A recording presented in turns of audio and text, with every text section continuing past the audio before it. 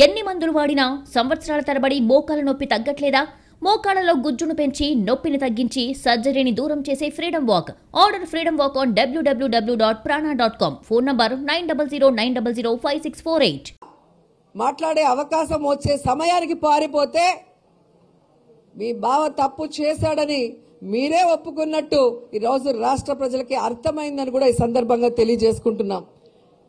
And సిగ్గు లేకుండా మీరు చూస్తే లోకేష్ గారు ఢిల్లీకి పోయారు. ఢిల్లీకి పోయి బహిరంగ చర్చకు వస్తారా అని అడుగుతాడు. సరే నీకు అసెంబ్లీలోకి రావటానికి ఎట్లాగూ అర్హత లేదు. నువ్వు ఎమ్మెల్యే కూడా కాలేవు. నీ మామ ఉన్నాడు కదా బాలకృష్ణ. ఆయన రమ్మన్నయ్యా ఇంకా మూడు రోజులు ఉంది కదా.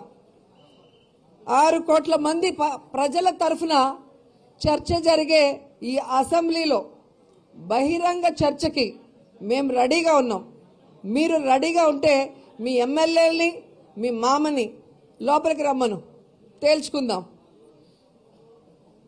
ఈరోజు తెలుగుదేశం పార్టీ వాళ్ళ పరిస్థితి ఎలా ఉందంటే కుడితిలో పడ్డ ఎలుకలా తయారయ్యాడు.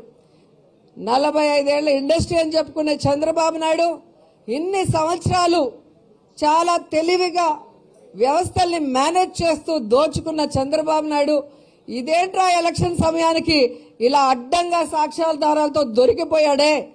ఇక మన తెలుగుదేశం పార్టీ అనేది శాశ్వతంగా సమాధి కట్టినట్టే. ఇక మన భవిష్యత్తు ఏంటి అన్న భయంలో వాళ్ళకి పిచ్చెక్కి చిన్న మెదడు చితికి ఏం మాట్లాడుతున్నాడో తెలియని పరిస్థితికి ఈరోజు అసెంబ్లీలో బయట వాళ్ళు ప్రవర్తిస్తున్న తీరు చూస్తుంటే వాళ్ళకు ఓట్లేసిన ప్రజలు ఈరోజు సిగ్గుతో తల ఉంచుకుంటున్నారు. ఇలాంటి వాళ్ళక మనం ఓట్లేసింది ఈ తెలుగుదేశం పార్టీ వాళ్ళు. మన సమస్యల మీద చర్చించడం కాదు కదా.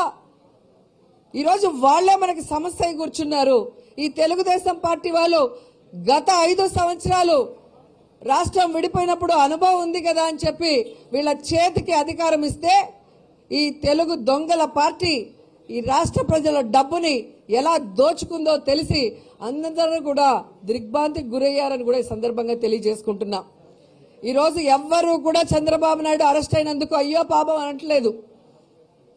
అతనితో పాటు ఎవరెవరు ఈ స్కామ్లో పాలు పంచుకున్నారు ఎవరెవరు దోచుకున్నారు ఏ ఏ స్కాములు జరిగాయి అన్నిటి మీద కూడా ఎంక్వైరీ చేసి అందరినీ కూడా లోపల వెయ్యండి అని ఈరోజు ప్రజలు చదువుకున్న మేధావులు అందరూ కూడా చెబుతున్నారు అంటే తెలుగుదేశం పార్టీ పాపాలు పండిపోయాయి.